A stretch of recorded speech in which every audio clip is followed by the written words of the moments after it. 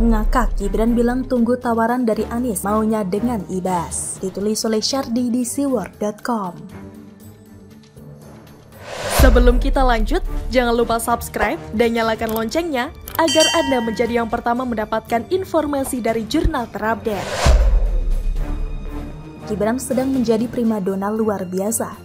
Gibran awalnya melejit karena ada kabar Prabowo berminat menjadikannya seorang cawapres. Tapi kemudian PDIP tidak mau kalah. Mereka juga mempertimbangkan mengusung Gibran jika nantinya MK mengabulkan usia minimum capres dan cawapres 35 tahun. Kalau PDIP berminat, ya wajar karena Gibran kader PDIP. Yang lucu adalah Prabowo yang sudah tahu Gibran kader partai lain, tapi terus memaksakan narasi bahwa Gibran lebih cocok dengan dia. Tidak ada malu dan etika sama sekali. Ada yang lebih lucu lagi, jubir Anies mengatakan Gibran cocok jadi cawapres Anies. Kacau kuadrat. Ini hal yang mustahil. Hanya orang putus asa yang mau jadi cawapres Anies, misalnya AHY. Anies itu sudah tidak punya harapan. Anies hanya capres penggembira yang bakal pulang kampung duluan di Pilpres. Sekelas Yeni Wahid, Hovifah, Mahfud MD dan Sandiaga pun tidak mau berdua dengan Anies. Tidak ada gunanya bertarung di Pilpres bersama dengan orang yang peluang menangnya sangat kecil. Apalagi Anies punya cap buruk dan mereka tidak mau ikut kena getahnya. Sebenarnya ini adalah candaan dari Gibran. Gibran bilang begini, dia menunggu pinangan dari Anies untuk maju sebagai cawapres. Gibran juga mengatakan ingin berpasangan dengan anak SBY yaitu Ibas. Tinggal nunggu ada penawaran cawapresnya Pak Anies, tapi saya inginnya malah sama Mas Ibas, semoga ya, kata Gibran. Untung aja Gibran tidak bilang mau menunggu tawaran dari Rocky Gerung. Ini artinya Gibran malas menanggapi pertanyaan soal dirinya yang kerap dirumorkan menjadi cawapres. Ketimbang capek dan risih, lebih baik dibalas dengan candaan. Mau menunggu tawaran dari Anies dan maunya sama Ibas, atau maunya sama novel Bamukmin dan lain-lain. Kalaupun nanti MK memutuskan menggolkan usia minimal 30 tahun, pasti PDIP duluan yang ambil start. Mau Prabowo atau Anies yang berminat tidak akan punya harapan. Jadi silahkan gigit jari aja deh.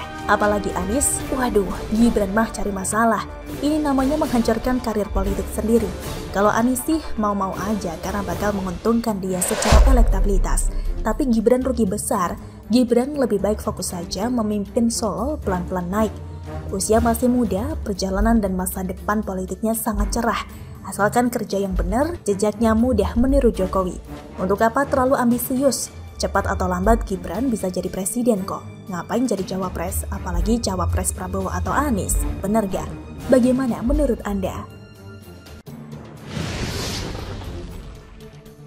Merinding. Reaksi Megawati akan melakukan ini jika ada kader yang berani melakukan ini, ditulis dari berbagai sumber.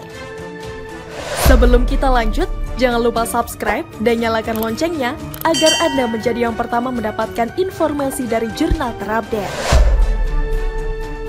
Politisi PDIP Budiman Sujatmiko dengan tegas menyatakan dukungannya kepada bakal capres Partai Gerindra Prabowo Subianto. Dia mengaku punya sejumlah alasan khusus lebih memilih Prabowo dibanding baca pres PDIP Ganjar Pranowo.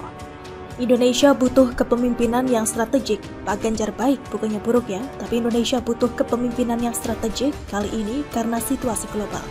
Kata Budiman usai deklarasi relawan Prabowo Budiman Bersatu atau Prabu di Semarang dilansir Detik Jateng Jumat 18 Agustus 2023. Lebih lanjut, Budiman menjelaskan ke depan akan banyak tantangan global yang harus dihadapi oleh Indonesia. Karena itulah Budiman menganggap Prabowo lebih pas untuk memimpin Indonesia. Kita butuh kepemimpinan strategik yang mencoba melihat keadaan global, tatanan global, dan tantangan juga keadaan ekonomi, perang, teknologi yang menurut saya kita butuhkan kepemimpinan strategik yang menempatkan visi-visi jangka panjang strategis dan melihat soal-soal rakyat yang saya sebut tadi jelasnya. Sebelumnya Budiman mengaku siap bertanggung jawab atas keputusannya mendukung Prabowo Subianto. Dia bahkan mengaku siap disanksi oleh PDIP. Ya tunggu saja, jangan berandai-andai ada sanksi dari PDIP. Ini kan situasi dinamis, kalau ada resiko ya tentu saja saya nggak akan lari dari tanggung jawab pungkasnya.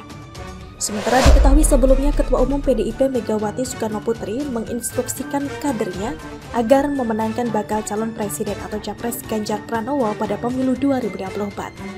Dia juga meminta kadernya mundur apabila tidak mau menjalankan perintah itu. Kamu mau dengar dan jalankan instruksi saya apa tidak? Dijalankan apa tidak? Ujar Megawati dalam puncak peringatan bulan Bung Karno di Stadion Utama GBK Jakarta Sabtu kemarin.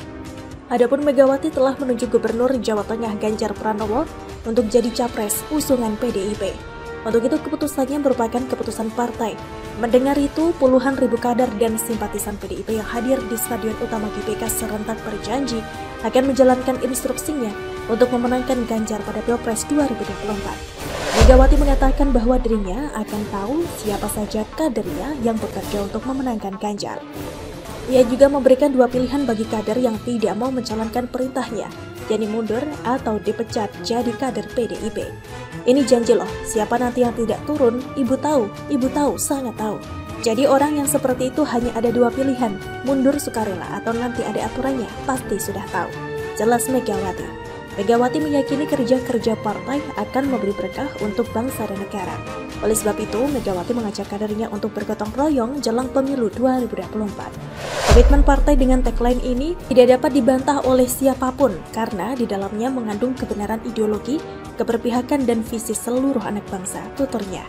Untuk diketahui puncak perayaan BBK ini jadi ajang konsolidasi kader dan simpatisan PDIP jelang pemilu 2024. Setidaknya 70 ribu kader dan simpatisan PDIP hadir dari seluruh penjuru Indonesia. Bagaimana menurut Anda?